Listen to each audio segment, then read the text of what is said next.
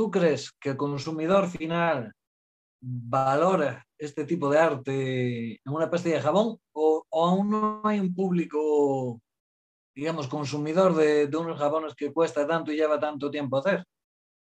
Yo creo que sí, que hay clientes para todo. Lo que pasa es que, el, artista, el, jabonero, tiene que saber llegar a esos clientes. No todos, eh, un problema que tiene el jabonero eh, en sí, bueno, en sí lo tiene todos los emprendedores, tienen este problema, que es creer que todo el mundo es cliente.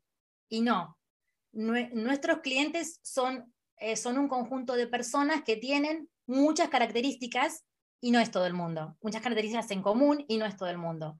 Por eso se segmentan, por eso se segmentan las publicidades, eh, se hace segmentación de clientes para hacer una publicidad concreta. Entonces yo creo que este, este tipo de jabones tiene un cliente, pero hay que saber llegar a ellos.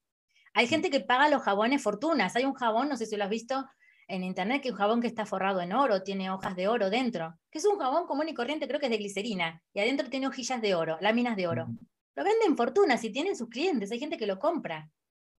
Pero, no es el cliente que nosotros conocemos a la vecina, a la prima, a la hermana, eh, o a la gente que camina por la calle y entra a tu negocio, no, es otro tipo de cliente más exclusivo. Entonces, sí los jabones tienen su cliente, su, enamorado, ¿no? Y hay que, hay que saber dónde vendemos nuestro jabón.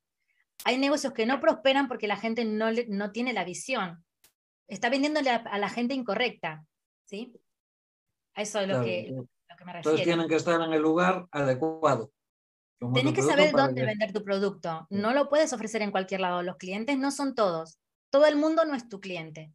Hay gente que mm. utiliza jabón en gel, gel de ducha, y tú su vida utilizó gel de ducha esa persona no te va a comprar un jabón en pasta, en pasta, perdón, en pastilla, porque no le gusta, porque le, ensucia la jabonera, porque le tapa las cañerías, porque le deja sucia la bañera.